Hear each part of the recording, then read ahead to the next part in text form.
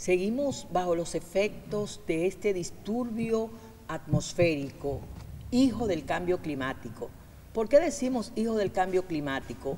Porque esta perturbación atmosférica, que no llegó a alcanzar la categoría de ciclón tropical y que desde hace varios días estábamos informando que estaba gestándose ahí cerca de Jamaica, no alcanzó la categoría de ciclón tropical. Sin embargo, los acumulados de lluvia que ha producido este sistema son extraordinarios. O sea, hemos tenido eh, desde el viernes lluvias intensas, tanto en el área del suroeste, así como todo en todo el litoral caribeño y el centro del país y el noreste.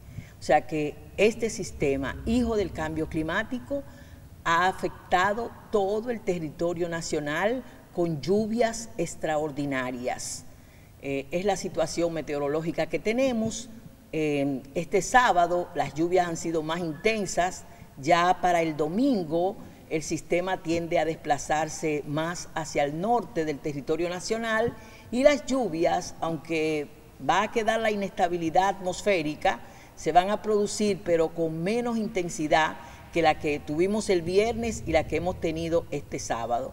Esa es la situación meteorológica, eh, un evento hijo del cambio climático, porque estos fenómenos que tienen esa evolución eh, tan rápida, en el sentido de, provocar eh, intensas lluvias, ráfagas de viento, tormentas eléctricas, condiciones superiores incluso a las que hemos tenido con tormentas tropicales que han afectado el territorio nacional.